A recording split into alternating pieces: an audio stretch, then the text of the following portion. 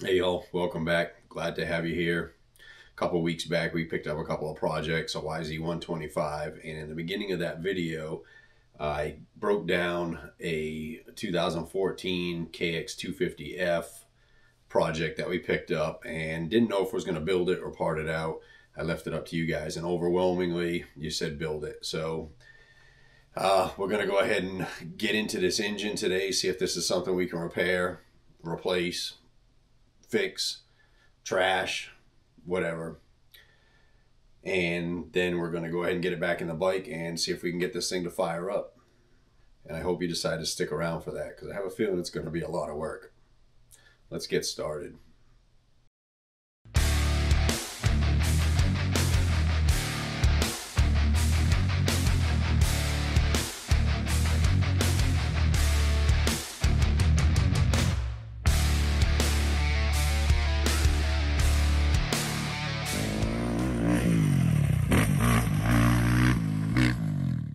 Let's start ripping into this block and see what's good and what's not good.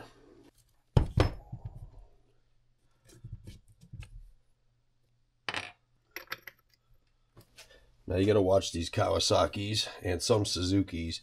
This uh, bolt that holds the crankshaft on is actually a reverse thread. So you want to tighten it to loosen it.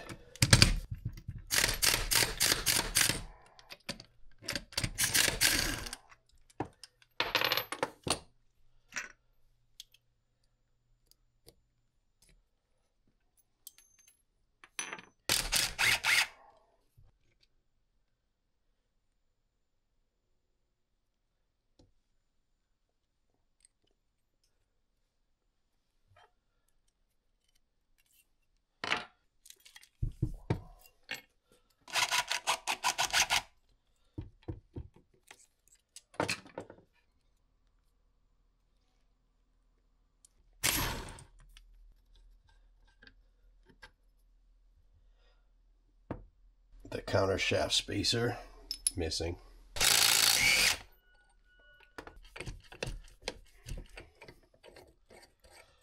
Now normally I would put a protector cap to protect the threads on the end of this crankshaft, but there's no saving this crankshaft. She's done.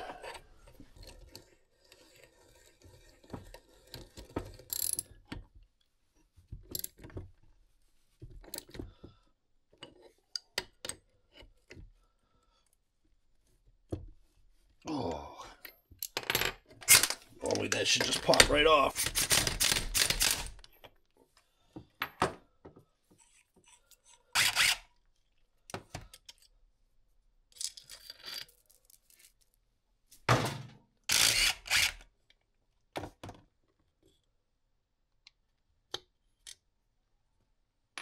Let's get our case bolts out.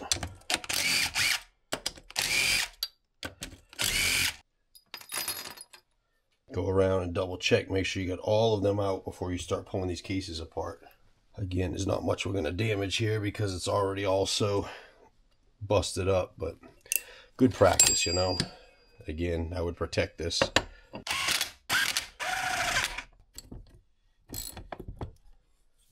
As we tighten this we tighten this you'll see our cases start to open up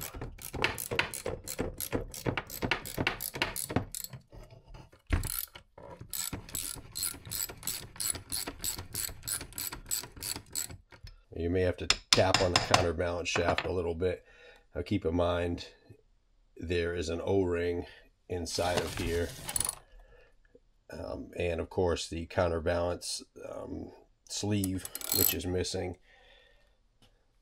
If those were still on there, sometimes they're hard to get off. You just tap this as you go.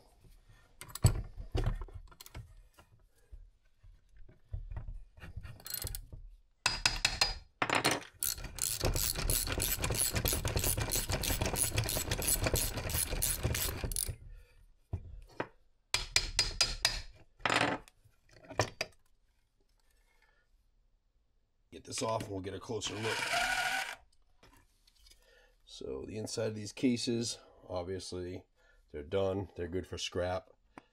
We want to save our pins. And we're going to save our screens here to clean them up. There's an O-ring that's down inside of there. We need to take off.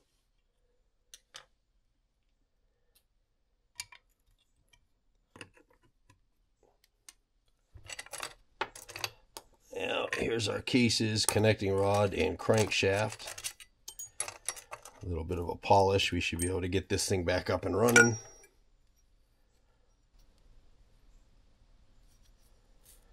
Yeah, she's really chewed. This one really even wouldn't be worth rebuilding.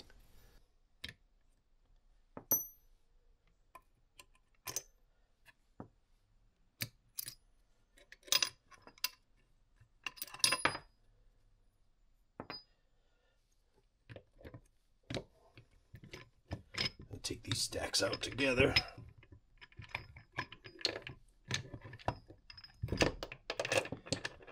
She's binding just a little bit. You got some rust on the backside.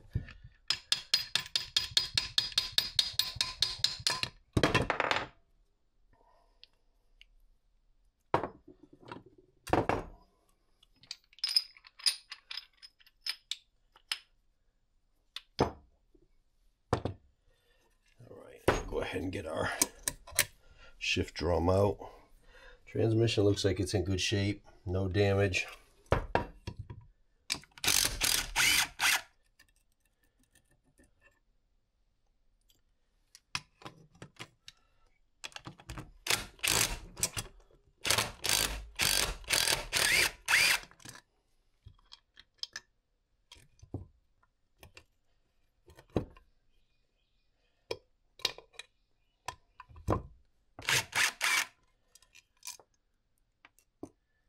There's some other pieces in here. I'm not sure if the other cases have those, so we'll wait and take a look at that. I don't throw anything away yet.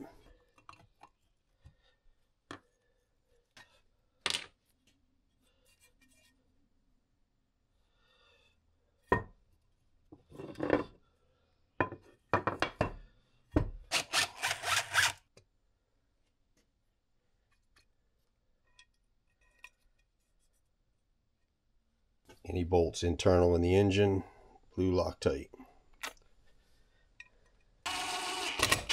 Now, the reason that they had a hole in the back of here, for whatever reason, they drove this pin out. That's probably why they did it. So I drilled into that one, knocked this pin out, pressed it into here, and we just sealed that hole up with a little JB weld. Now, obviously, they had taken this off, so we're going to go ahead and switch this over and then also we have a pin right here for the shift shaft. I have to knock this out and get that over there as well.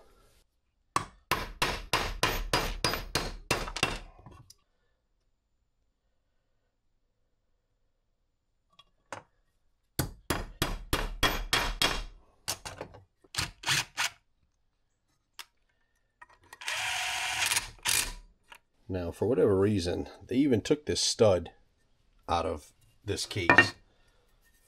I don't know what they were doing, selling all these parts separately. This could probably fetch you half a cent. But to get this out, you know, obviously you don't want to grab it with a pair of pliers. What we'll do is double nut it, and then we can back it out. So our left side case going to go ahead and replace the counter shaft bearing. This one spins free. This one's kind of locked up. All the other bearings are in pretty good shape. Obviously the uh, supports have been taken out. Also this little vent cap or one-way valve is also needs to be swapped over.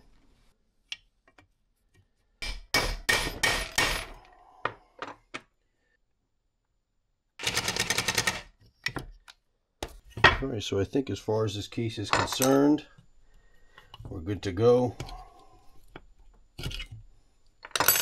We'll get all this stuff cleaned up real well, and then we can start trying to put this bottom end back together.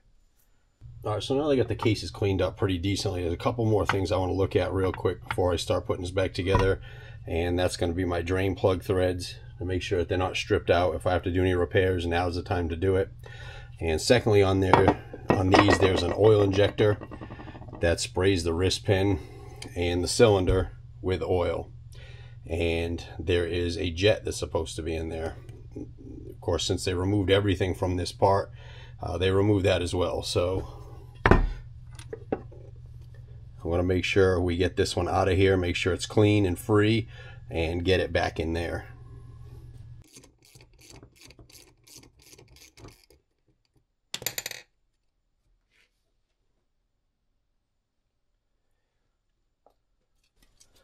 The hole in this thing is tiny. If you forget to put this in, you may have oil pressure issues.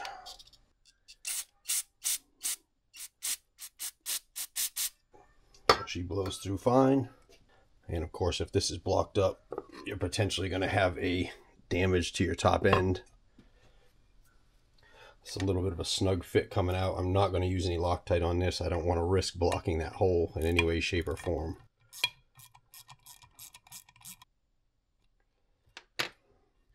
Now, once we get that snugged, I'm going to blow through this port right here and make sure that that is coming out.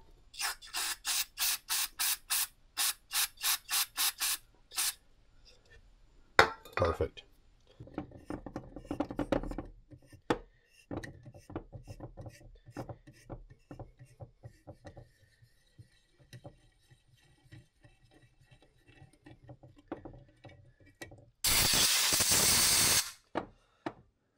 All right, let's start getting this transmission back together.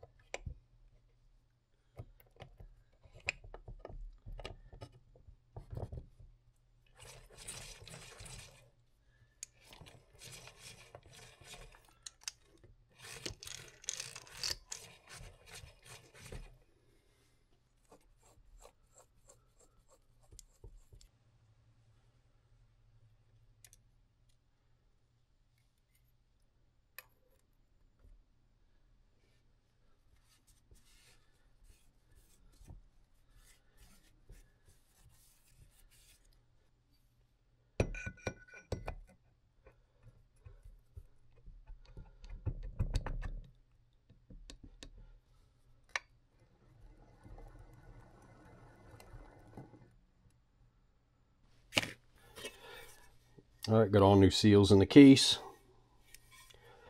Time to seal these puppies up. Ultra black RTV, or you can use ultra gray, blends better. Hard rubber roller. Get these things on the Jungle website. And what we want to do is just put a nice even coat this does a good job of not letting you put too much on.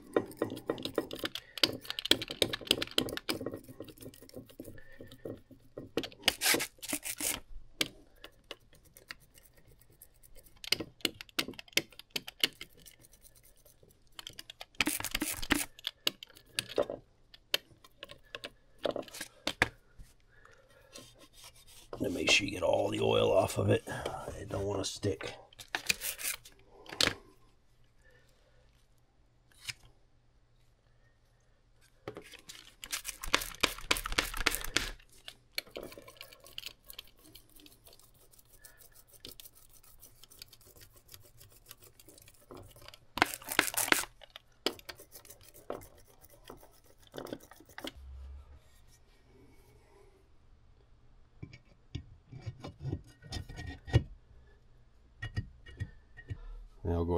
Our crankshaft puller tool.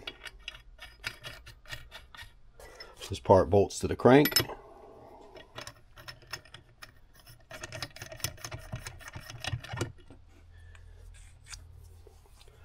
This part here pushes against your case. And in this particular case, it's raised here, not raised on the other side. We're going to have to balance it out.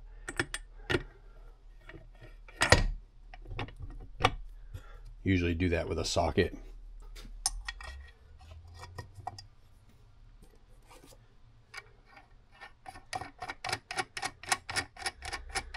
As we tighten this nut, it'll pull these cases together without doing any damage to the crankshaft or the cases.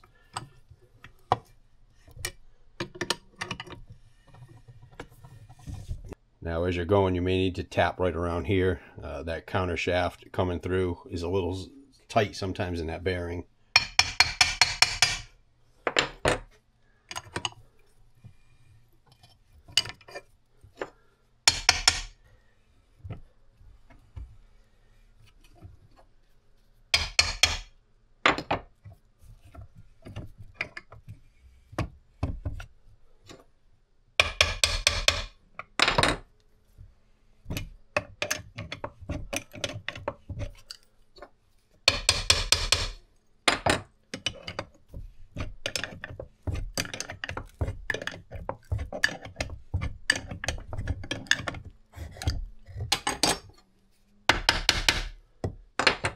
Once you get that pulled down tight, go ahead and get all your case bolts in and we'll get them torqued up.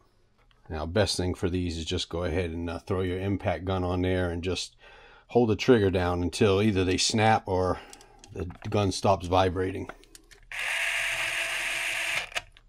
No, don't do that.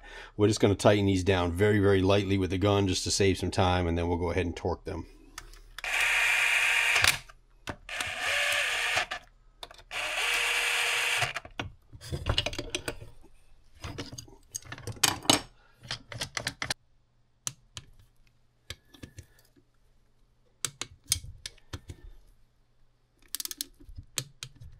Course, we want to make sure that everything spins nice and free.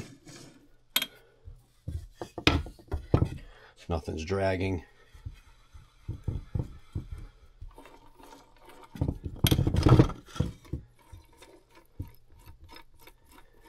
And we're in good shape. Let's continue putting this thing together.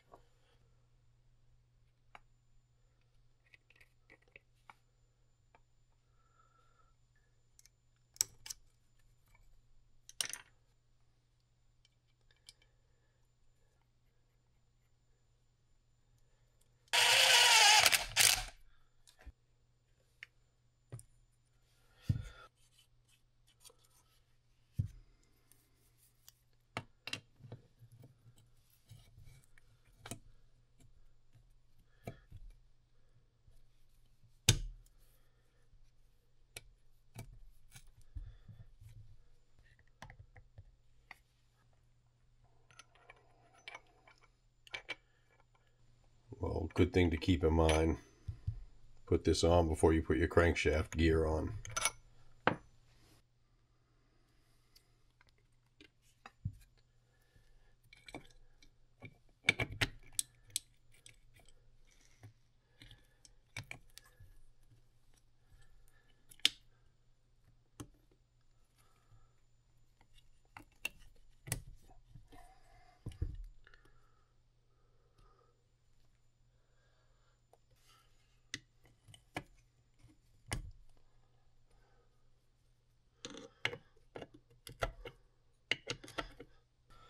I think that kicker might be stripped out. I'm going to have to look into that a little bit more.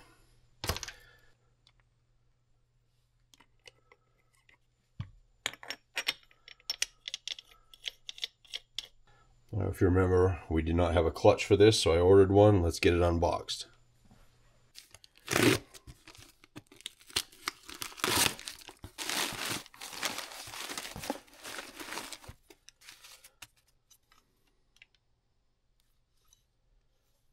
Looks decent.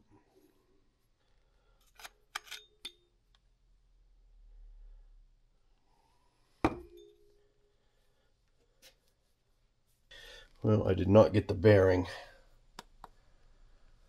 I do not have the bearing.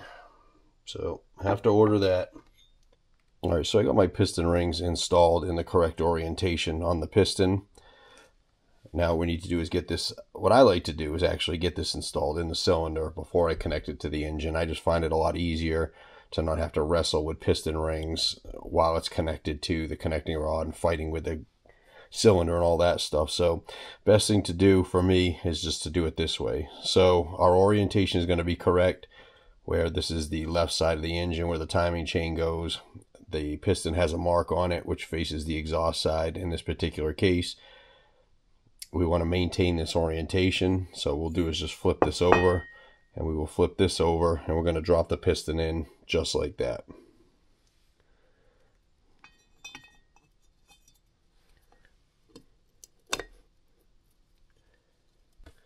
And it's just wide enough here where I can push my pin through.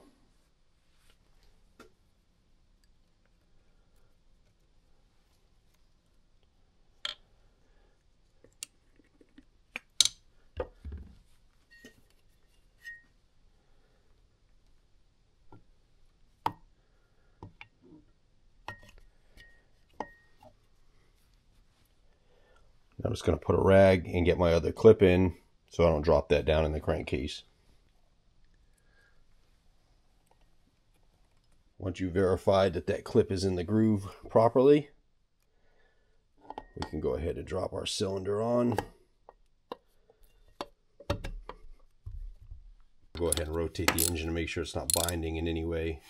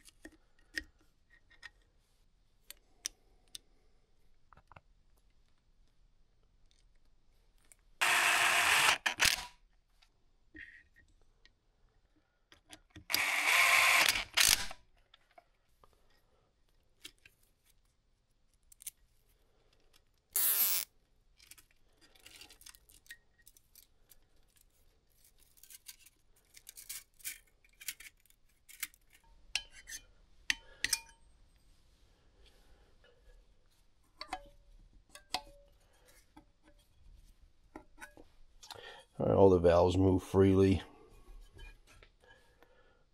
It says super, super clean. So somebody's been in here and done some work to it. I'm going to assume that they put valve seals in here. Might be stupid of me, but it looks like it's got new guides, new valves. Everything is super clean. So Excellent.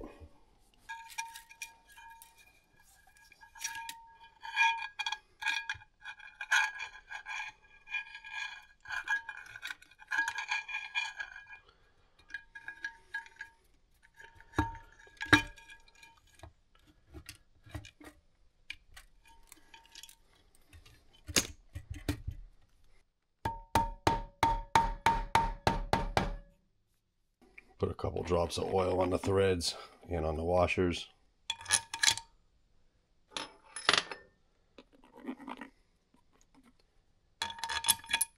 Again, I'm going to use my impact gun just to run these down before we torque them.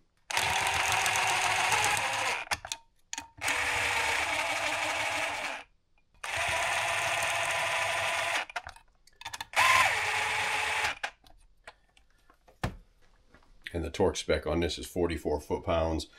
We're going to do this in a sequence of number one, two, three, four, and I'm going to do it in a couple of different steps. I'm going to go to 20 first, then we'll go up to like 35, and then we'll do 44.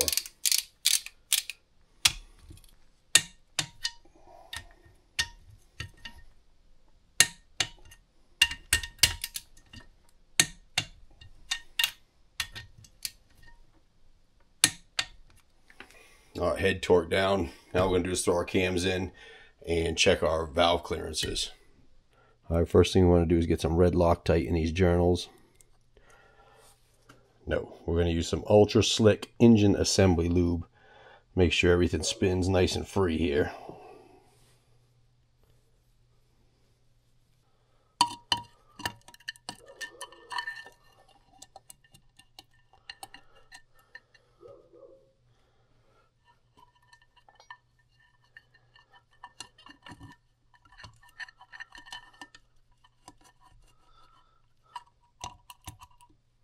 Well, we've got some camshafts, but they are not correct. This is what you run into sometimes.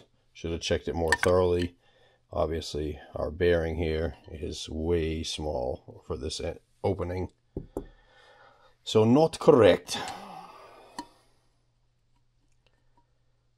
And this one does not look right either.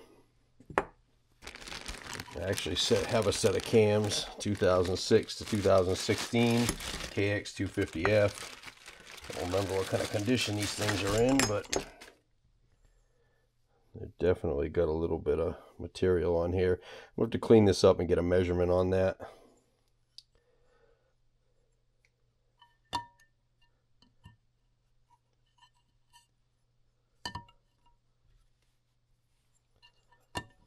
And of course, they are both exhaust cams which might be okay. Well, the exhaust cam would work. Obviously, we're going to clean that up and measure it. The intake, I don't have an intake cam for the KX for whatever reason. So I'm going to see if I can get a second-hand used set of camshafts. Or at a minimum, at least get an intake cam. Back to the research. All right, so I ended up getting a used set of 2014 KX250F camshafts, and they're in pretty good shape. So we're going to put this together and check our shimming.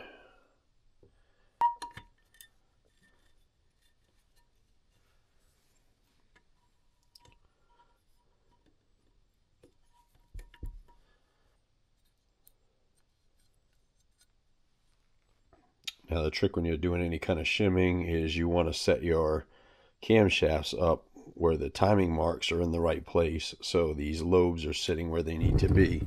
On this Kawasaki that's going to be with this mark on the intake camshaft lined up with the cylinder head and then you'll have another mark pointing straight up and the same thing on the camshaft. Now when these marks are lined up, when you spin this around both of your camshafts should be even and looking like flat on the top. If for some reason you got the timing marks lined up and one of your lobes is like that, then you know you probably got a spun gear on the end of your crankshaft. And don't say it doesn't happen because I've seen it many, many times. Now, this is absolutely critical that these caps no matter what bike you've got Kawasaki, Yamaha, Suzuki, Honda. Well, Honda's a little bit different, but regardless, this is a critical spot for torquing. These caps have a tendency of twisting or warping when you over tighten them, and they're very difficult to recover. Now, Kawasaki does a great job of numbering their cam caps so that you can see how they want you or the tightening sequence that they want you to use.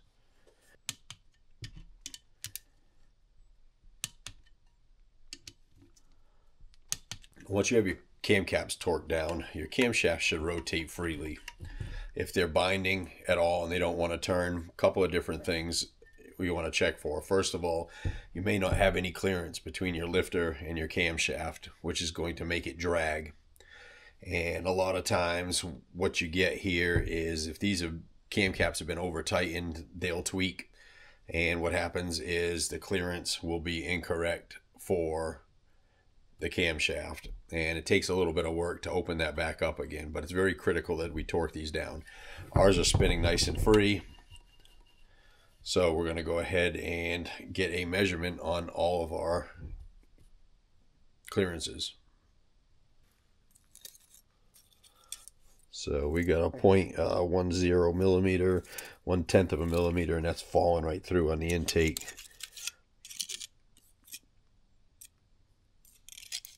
and on the exhaust. So we're going to jump up.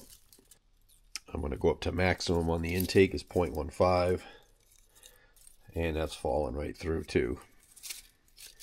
So we're definitely going to need to do some shimming. Now it's just a matter of finding exactly what our clearance is.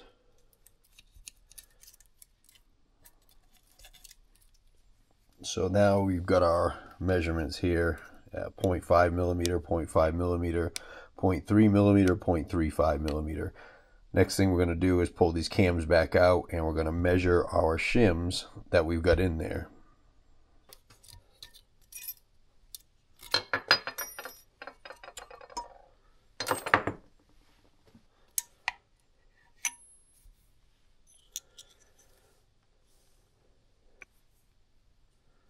Nice thick shims.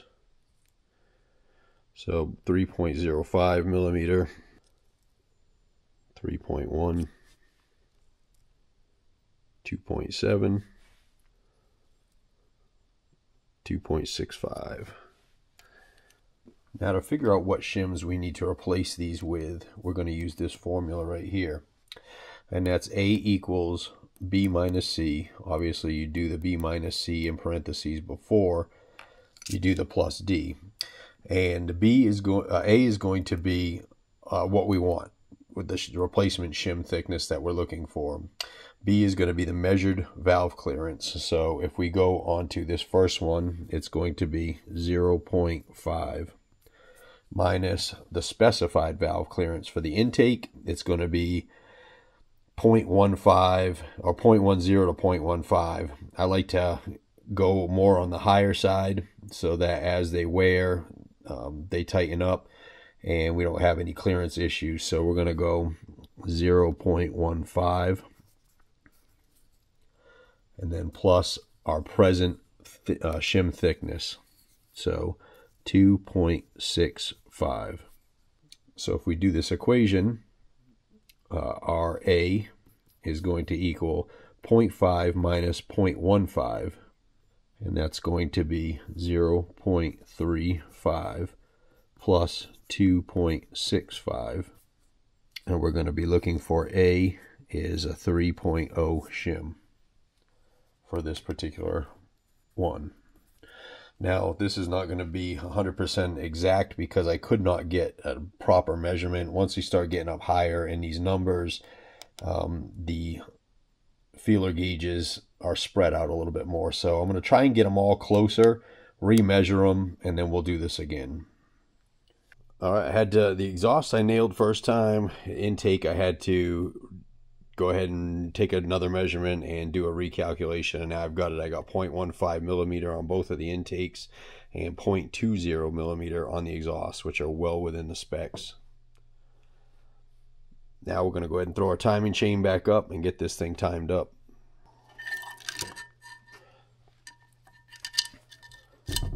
First things first, let's get this engine up on top dead center. I'm going to drop a long screwdriver down inside the cylinder. You can use a straw, whatever you got.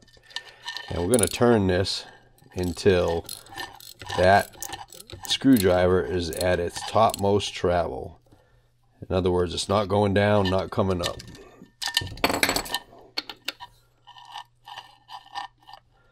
See, I go this way, it starts going down. I turn back, starts going down. We want to find right in the middle of those two. And generally what you'll find is your keyway will point straight up the engine on these. That'll tell you you're at top dead center. Top dead center just means that the piston's at its highest most travel before it starts going back down again. We're going to start with fitting our exhaust cam the correct way.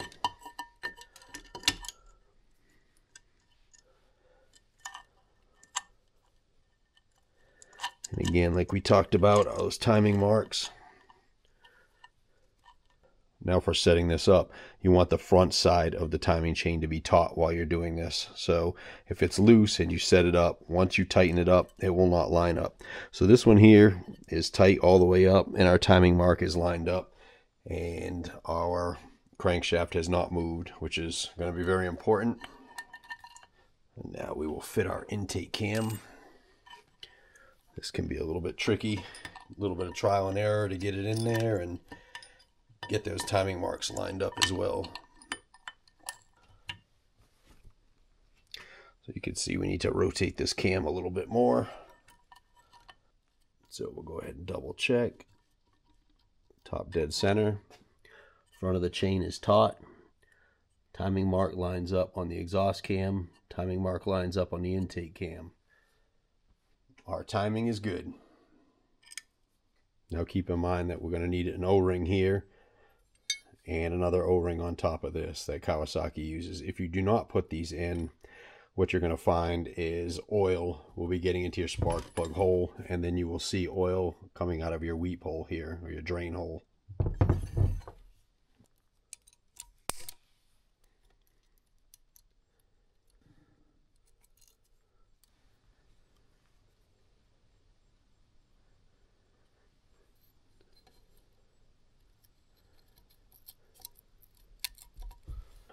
You're wondering where the longer silver bolt goes in, always goes in number five.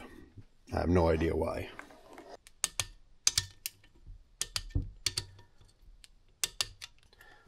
Again, just double check to make sure your camshafts are moving freely without any drag.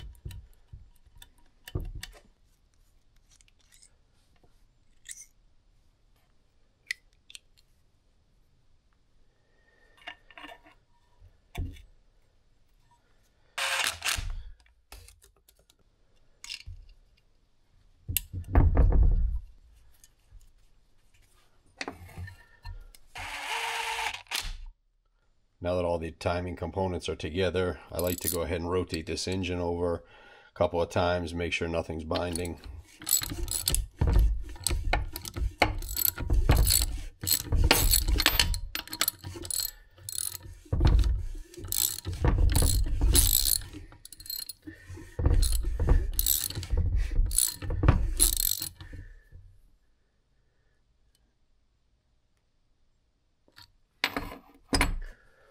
and double check my timing marks. They're right on the button. Very, very good.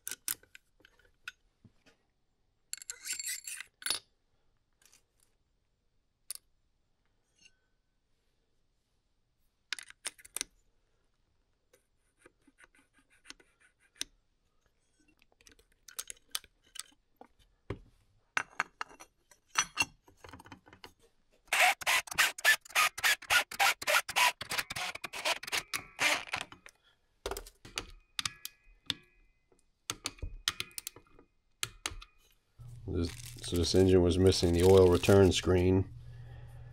Kind of critical.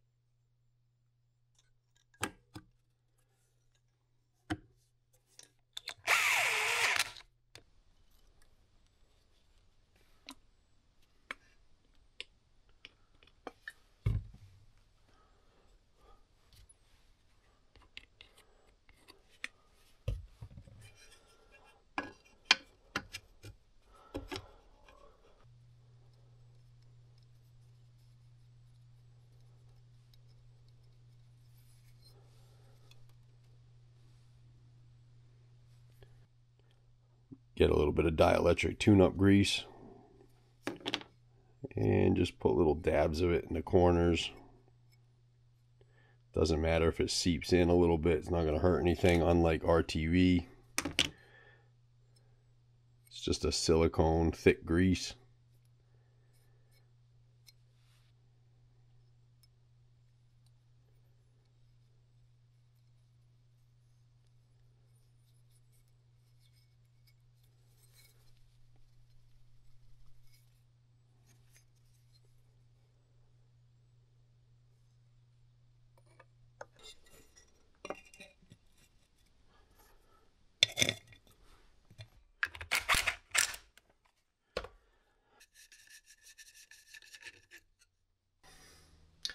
so before I go any further, I'm gonna get some oil in this crankcase and prime this oil pump. It's also a good way for me to check to make sure I don't have any leaks on my case before I get this all back together.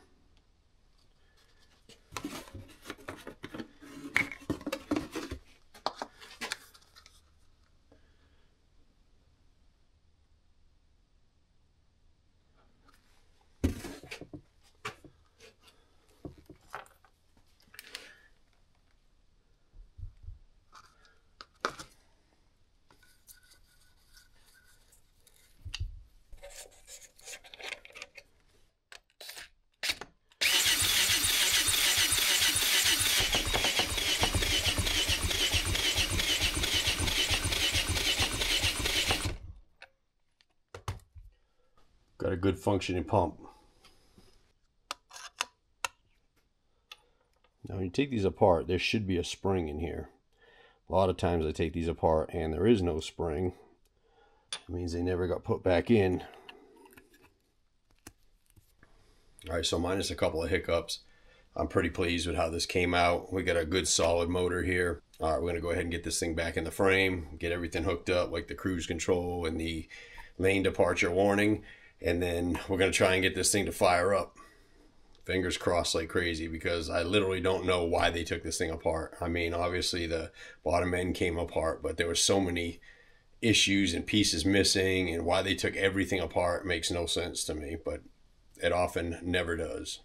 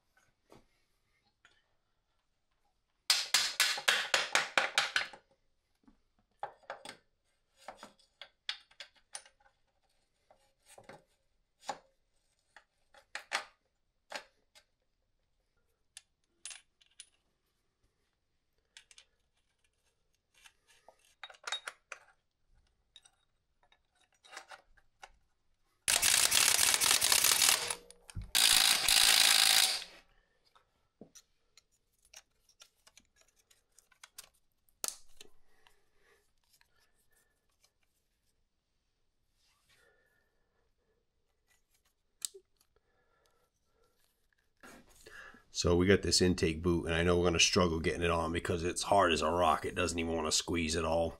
However, it's in really good condition. There's no cracks or anything like that. So easy thing to do with this is go ahead and throw it in a pot of boiling water for a few minutes, and this thing will be soft as a pillow. I don't know. It'll be soft.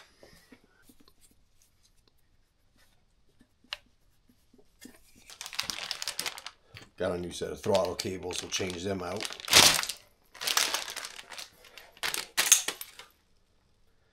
While I'm in here, I had another throttle body from that 2011 Nightmare project, so it actually had a good uh, map sensor on there, so we ended up having no charge on that one.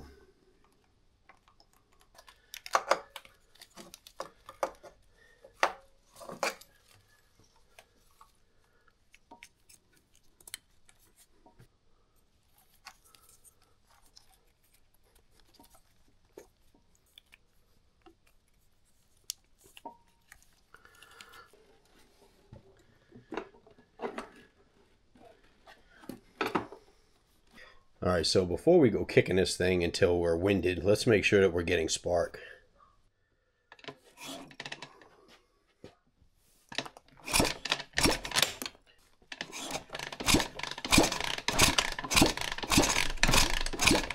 Yep, good strong spark. I like it. All right, let's get some fresh non-ethanol in here. E-free. Now I did jump this fuel pump with 12 volts and it ran. I don't know how it's going to run here with kicking it. We don't know how well our stator is for powering this up. We don't know if the pump's actually going to pump anything. We don't know if the fuel injectors are going to work. Just don't know. Almost forgot the condenser. Be kicking all day.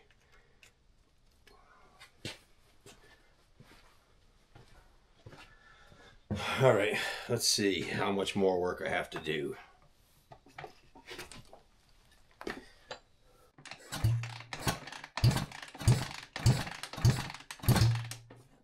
Oh, let's pull this enrichment knob,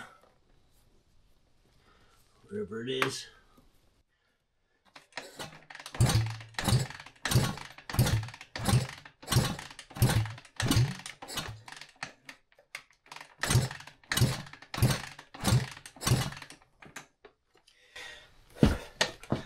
Let's artificially flavor this thing with a little bit of fuel.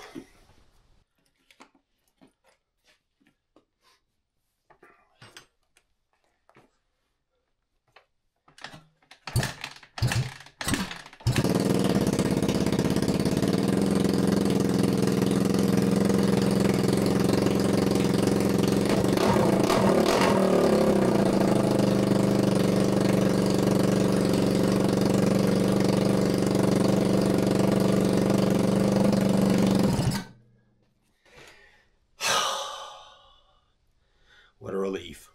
And she's running under her own power. I am missing a mid pipe for the exhaust. I did not notice that it was missing. But now that we know this is running, and that's fantastic news, I'm going to go ahead and get the radiators back on, get some coolant in this thing, and get an air filter in it, and all the other doodads and patty wax and knickknacks and all that stuff. So get the rest of the motor mounts on. Whew. Pretty happy about that. I was kind of 50-50 on this one. I'm going to go ahead and end this video here on a high note. I do have to order some more parts for it, a couple of knickknack things. I want to probably get a whole set of plastics for it. Uh, since it's a nice bike, we're going to go ahead and replace the rear tire. I got a new chain, new sprockets, um, levers, grips, a bunch of other stuff that I want to do to this bike. I want to get something out for you this week. So we'll end it here. Uh, as always, I thank you guys very much for all your likes, comments, subscribes, shares. Uh, it, I really appreciate it. it. means more than you know. Don't forget to comment on your thoughts on this bike or any thoughts in general. That's going to do it for me for today. I'm going to keep working on it, but that'll be in the next video. So again, thanks for tuning in, and we'll see you on the next one. Ui!